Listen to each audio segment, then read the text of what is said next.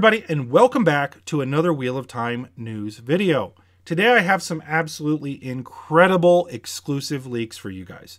Like, this stuff is hot off the presses. I have a major source within the production, and they've given me this information. It's pretty exclusive stuff. There are leaks about set design, some ideas on the plot, props, and even some casting audition tapes. Like there is literally so much here that it might make you think that I'm just making all this up, but I mean, that would be crazy, right? Now, before moving forward though, let's hit the spoiler warning for the video. Today's video will carry a spoiler rating of red, with major spoilers running all the way through the final book of the series, A Memory of Light. If you have not finished all of the books of the Wheel of Time series, watch this video at your own risk. You have been warned. So folks, there is so much to get to, I want to jump right in. Let's start with some news that broke a couple weeks back, and that is David Buckley, the man that was hired to score The Wheel of Time, has left the project. Now, no reason was given for his departure, but one of the main things on everyone's mind is who would replace him in the role. There was speculation that figures like John Williams, Hans Zimmer, and even Danny Elfman would get the role, but it turns out the production has settled on American composer Jolie Dunn. Now, if you haven't heard of Jolie Dunn, I'm not surprised. She has a small but very distinguished career. And I think, frankly, from what I was able to find of her work, she's going to do really, really well. Now, she rose to fame last year with a breakout hit, and it looks like Amazon may be looking to capitalize on that stardom by bringing her in as the new composer. Now, let me go ahead and play a clip of her work so you guys can get a feel of what we're looking at here for the show. I wonder what's inside your butthole. I wonder what's inside your butthole. Astronauts maybe there's aliens all inside your butthole. What's inside your butthole? I always want to know what's inside your butthole. I always want to know what's inside your butt. Now, as you can see from the clip, she's honestly going to be a good fit. It turns out that she's a massive Wheel of Time fan, having read the books more than 30 times. When interviewed, Dunn said that the lyrics to her breakout song were actually inspired by the Bore and the metaphysical questions that the Dark One's presence brings up, like that hole in existence. Um, some of the questions that Robert Jordan actually explored with the Wheel of Time series. So I think that that leads into a little bit about why she might have gotten the role and I think she'll do really well because typically good art is inspired from within, and I feel like she's got it nailed for the Wheel of Time. Now, currently, Jolie Dunn is living in Los Angeles with her mother, but her mother says that as soon as she is finished potty training, she will make the trip to Prague and will start working to score the Wheel of Time. The only bad news here, and I know this will upset some folks, is there is going to be a slight delay in production. Her potty training is not scheduled to be finished until late summer of 2021 and so the score may not get finished until late 2021. That might mean we get a 2022 release. Who knows? Maybe she will learn quicker. Now, one of the next major pieces of news is a bit of insight into one of the more mysterious leaked roles from the show. Now, early on in production, the character of Laila Aybara was discovered, but we never got much more than that. There was a ton of speculation about whether or not she would be Perrin's wife, whether Perrin would kill her in the opening. Again, there was no real definitive answers. I think we finally have the answer to this question. Now, according to my source on the show named Q, Laila Aybara will be playing the role of a pizzeria operator in Emond's Field. Now, this is the first I've heard of pizza in the Wheel of Time, but I suppose that it makes sense that pizza would survive in some form in this age of the wheel. Now, according to Q, both the village council and the women's circle apparently meet in secret in the basement of that pizza place. Now, what they do there is still a mystery. Q told me that I didn't want to know. I know this may be shocking to a lot of you guys as a major departure from the books, but Q has never let me down with anything he's told me before, and I met Q on the internet, and so the information is pretty well vetted. So I actually trust this leak. Again, it may not be what we want to hear, but I think it's probably the truth. In other news, we got some confirmation about some of the sets that would be used in the show, as well as some of the locations that are going to make it into season one. Now, according to my sources, Tar Valon will actually make an appearance in season one, which I think many of us assumed. Now, we know this because the Czech casting agency named Falinsa Jako Kurva has posted an open casting for what they are calling the Tar Valon Harbor Master. Now, this is an open casting, so if you're looking for your chance to be in the show, this might be your opportunity. The only requirements are an up to date CV and a documented ability to find North Harbor at least 50% of the time. Now, while that may be an odd request, they were adamant about it in their posting.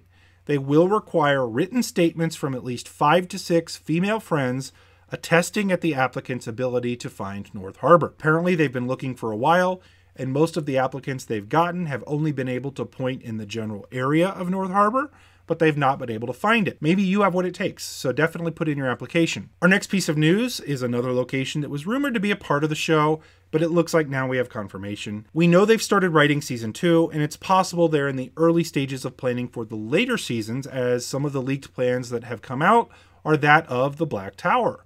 According to the leak, the growth of the Black Tower as a structure will come in stages, just as in the book. So I'm going to throw this up on the screen so you guys can see here. There's a couple different leaked photos.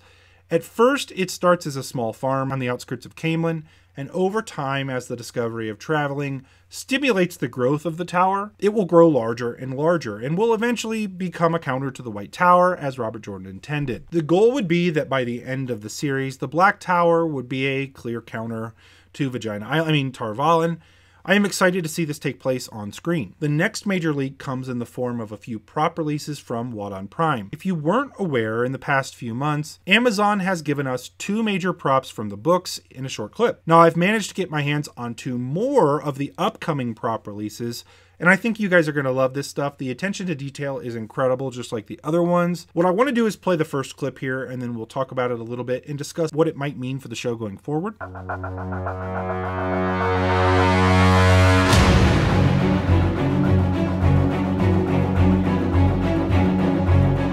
Now, well, my first reaction to that was that the quality of the editing has dropped a little bit. So I'm gonna I'm gonna give that out there. Uh, it seems like Wadon Prime is putting a little less and less effort into these, but I'll give them the benefit of the doubt on this because it's leaked, it wasn't finished, so they may still have some work to do. But in terms of what we're looking at, this is apparently the Horn of Valere. Now, I will admit it isn't what my headcanon told me, but I can certainly get behind this as a fresh and modern take on the horn.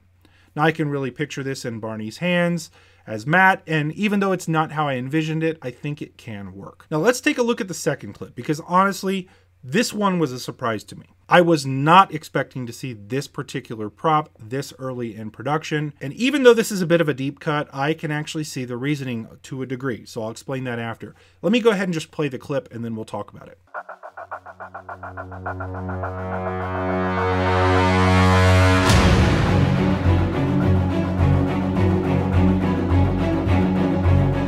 Now, if you were surprised, you are not the only one. I mean, who expected that we would see the Red Rod ter'angreal this early in the series? Now, as to the design, it's certainly sleek, and I think it comes across very modern and battery powered. I think you get the feeling from looking at it that it might bring the ecstasy that you would expect from using the one power. Now, I do have some speculation as to why we're seeing the Red Rod this early in production, and it may not make some of you very happy. Remember that Amazon is in this to make money and product placement and merchandise sales are going to be important to franchises like this. I think they are capitalizing on the merchandising options and being able to sell Red Rod ter'angreals of their own. Now, coincidentally, we have a Red Rod ter'angreal for sale at shopwheeloftime.com that looks very similar to this particular rod. Feel free to check that out and purchase it if you wish. It just supports the channel. There have been a couple other product placement announcements that are going to be a part of the show. We don't have footage of this yet, but it looks like Amazon has partnered with My Pillow. My Pillow will be featured heavily within the Wheel of Time series on Amazon, so look forward to that. And they have struck a deal with Mike Lindell, the head of My Pillow. He will be starring in the show, so look forward to that, guys. We're all really excited. Our last piece of news is a number of leaked audition tapes for various roles within the show. Now, these apparently come from months ago, and as with all the other leaked audition tapes that we've seen, the dialogue may or may not make it into the show, but it does give us some insight into what they're thinking with each of these roles. Now, what I'm going to do is play all of the clips in a row, and instead of breaking them down one at a time, we'll just talk about them all when they're all done. So here we go. Hi, I'm Lesbian Nerdy, here to read for the part of Ba'alzamon, Heart of the Dark. Are you the one? You cannot hide it from me forever. You cannot even hide yourself from me, not on the highest mountain, nor in the deepest cave. I know you down to the smallest hair. Are you expecting glory? Power? Did they tell you the eye of the world would serve you?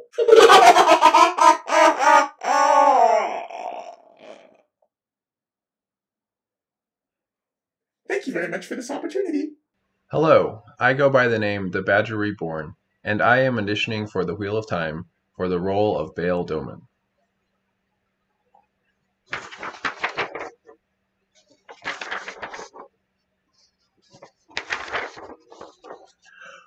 My name be Bayle Domon, captain and owner of the Spray. Please, sir, we are just simple women and not looking for trouble. My name is Egwene, and this is Nynaeve. We're hoping for passage on your ship. Simple women, eh? Fortune prick me, but you do know have the look. Thank you. Thank you so much for calling me in for Faile. I live for Faile. Faile is my girl. Why did I dress as Moiraine? Kind of my thing. Mm, I don't think it's confusing, no. I could weave a quick mirror of mist to give you a little Faile realness. Yeah, give me just one sec. Okay, so I did go through the sides. I just think it would be better if I did like a little improv and showed you my best Faile. Is that okay? I'm just gonna do it. okay. you, Perrin. You're a piece of I'm sorry, that came across like really harsh. I can, I can do that better. I can try that again. I can do it again. Okay. You, Perrin. You're a piece of Oh, the nose is too much. My Moiraine look was confusing and now the nose is too much. Okay. When you say leave, do you mean like leave, leave? Because I'm not done yet. I have like a couple other things. I can do this as Sarah. This is canon, and I am cool with nudity. So, okay, one more thing. One more little thing. My warder would like to submit herself for Dapple. She's new on the scene, but she has serious acting chops. Okay, burn me. I'm leaving. I don't want to be in your little Wheel of Time show anyway. So honestly, most of those were pretty awful. The one I did enjoy was Badger Reborn auditioning for Bayle Domon. He really fits my head headcanon for Bayle Domon. I was absolutely shocked, actually, that Recappa I did not get the part of Faile. That nose really nailed it. In my opinion, I think it's a travesty. The last thing that I want to say, guys, uh, before we finish out here, I wanted to let you know, uh, just clue you in a little bit. I wanted to respond a little bit to something I see in the comments all the time about Rafe and the gay agenda that Rafe is pushing. Um, I want to let you know that both myself, Lezbi Nerdy, um, we were actually at the Gay Agenda conference that we host every year where we kind of set the gay agenda for the year. Um, and I wanted to let you know we were able to speak with Rafe while we were there. And one of the things that he told us is that his goal uh, is to very subtly turn all of the youth gay with the show. And I know that um, that's something a lot of you have left comments about that you thought that he might be doing, and you were hoping that that was true. And I wanted to let you know that we did confirm that, that the goal of the show is to make everybody gay. So I just wanted to let you guys know that. Anyways, thank you for checking out the fake news. I am fairly certain that someone will believe all of the garbage that I just said and is going to post something about how all of these changes are stupid. And if that's you, you deserve the public shame that you're about to get in the comment section. Otherwise, thanks for watching and let me know what you think of all of my fake leaks in the comments of the video. Special thanks to Lauren from Unraveling the Pattern for help with the graphics.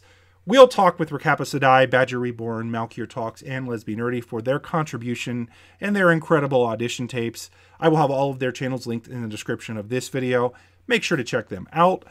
Also, make sure to like the video, subscribe to the channel to be updated when I release more Wheel of Time content like actual content this time around. We should be getting more actual news this coming week. And I also have a few more editions of the reread series coming out this week as well. If you have not checked out those videos yet, make sure to do that. Basically, what I'm doing is rereading Eye of the World, but doing it from a reread standpoint. We're looking at all the spoilers and the foreshadowing and all the stuff that's built in there and then we're doing it with visuals so you can kind of picture what's happening with maps it's pretty cool it's a fun little series Make sure to check those out. And then all of those videos have a corresponding article on thegreatblight.com. So that's a lot of fun. Please consider supporting the channel on Patreon if you like what we do here.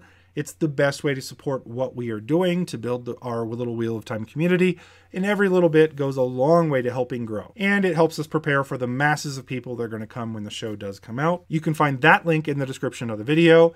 Thank you everybody for watching. Hopefully you had a little bit of fun, and until next time, peace out.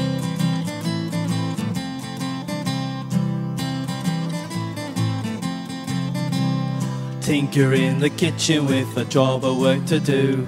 Mistress up above, slipping on a rope of blue.